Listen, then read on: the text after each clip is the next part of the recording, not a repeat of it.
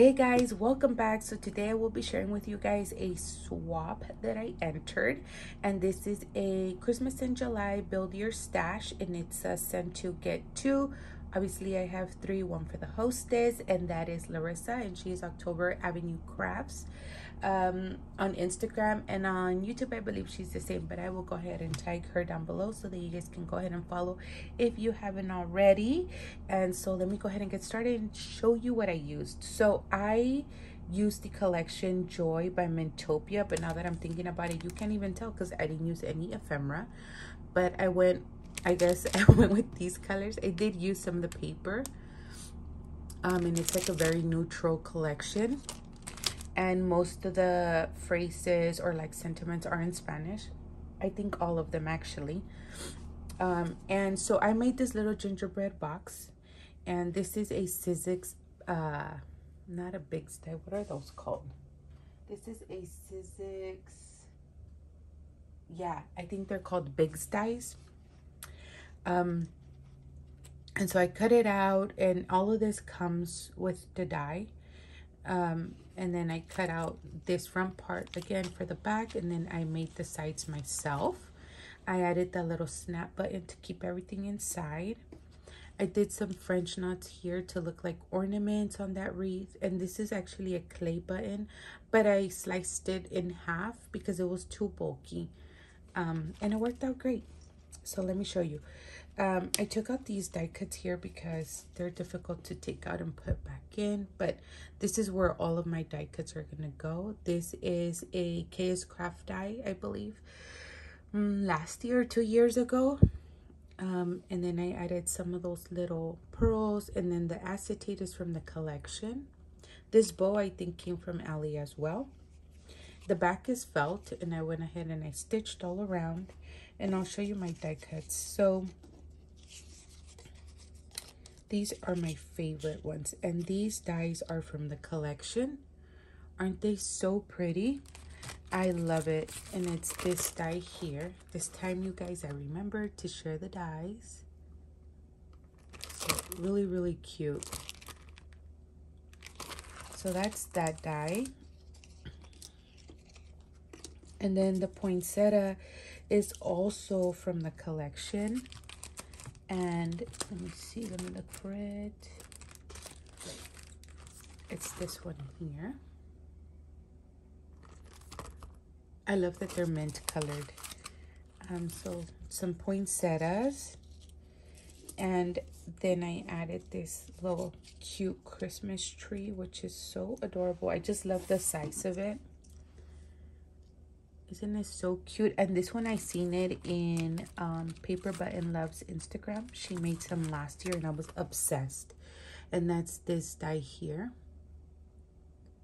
Super cute. I love the size of it. And then this one I used cork and that's from Dollar Tree. It's already sticky on the backside. I thought it looked kind of cool. And then I included these Christmas lights. This is a KS Craft die. Not sure um, if it is or isn't, but I'm pretty sure I got it off of Ali. Isn't that so cute? So those are my die cuts that I'll be sharing with them.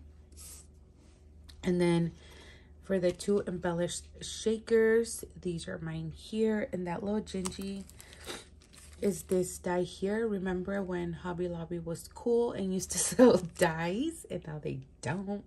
So this is from Hobby Lobby. But it's actually Memento.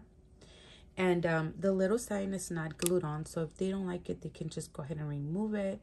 And this uh, snow globe die, pretty sure came from Ali.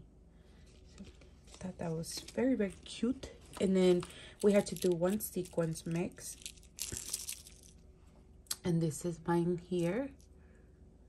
Um, I used everything. I used pearls, clay bits, sequins, foam balls, um, everything that I could think of that would match, I put it in there.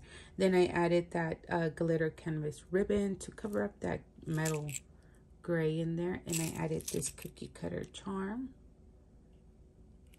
So, yeah. I tried to match it as best as I could to the collection. And then this here is my embellishment box.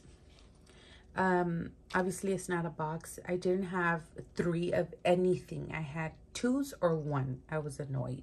Now I know why Christy buys in threes. It just makes more sense. Um, so I had to come up with something. So this tree here is this die here. You guys remember this when they were selling it at Hobby Lobby? And then you'd get the little plastic dome separately. So I went ahead and I backed it on this um, tag. And then I used the cork to cut out the outline, right? And this is from Dollar Tree last year or two years ago. And these are from Hobby Lobby last year.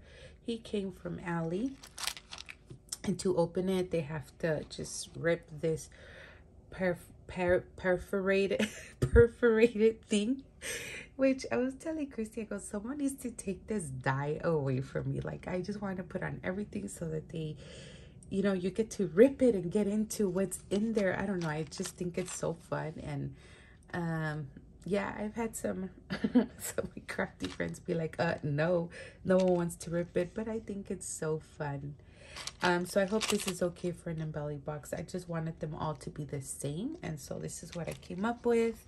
And then we're supposed to add one crafty goodie. And these baggies here are from Dollar Tree. I don't know how long ago. I added the jemmies and the bow. Just to, you know, make it cutesy.